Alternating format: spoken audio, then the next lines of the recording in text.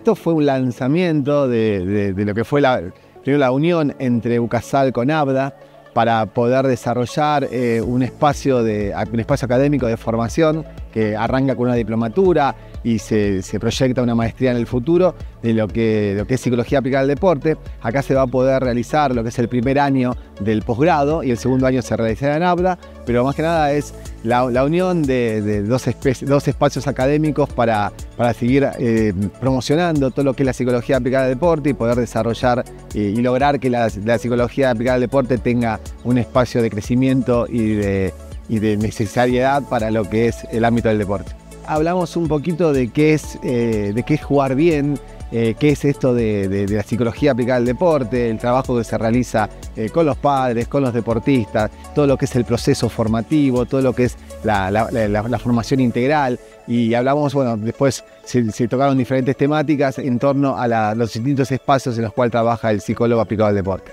Primero somos psicólogos y después somos psicólogos que trabajamos en el deporte. Entonces estamos tratando de promover la salud mental en, atletas de alto rendimiento que buscan todo el tiempo romper límites. Entonces cuando nosotros pensamos que el deporte eh, de alto rendimiento no es saludable, bueno, tratamos de, trabajar con nuestros atletas para que para lograr que puedan disfrutar de lo que hacen, más allá de la competencia, más allá de la exigencia, y poder, bueno, eh, acercarse a sus objetivos, entendiendo que hay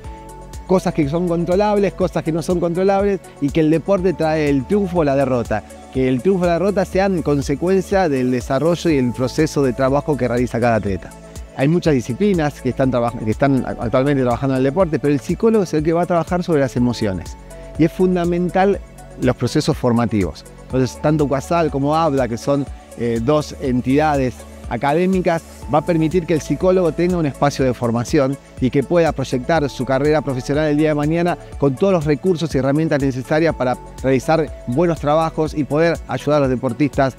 en, este, en este camino, este largo camino del alto rendimiento y, el deporte de élite.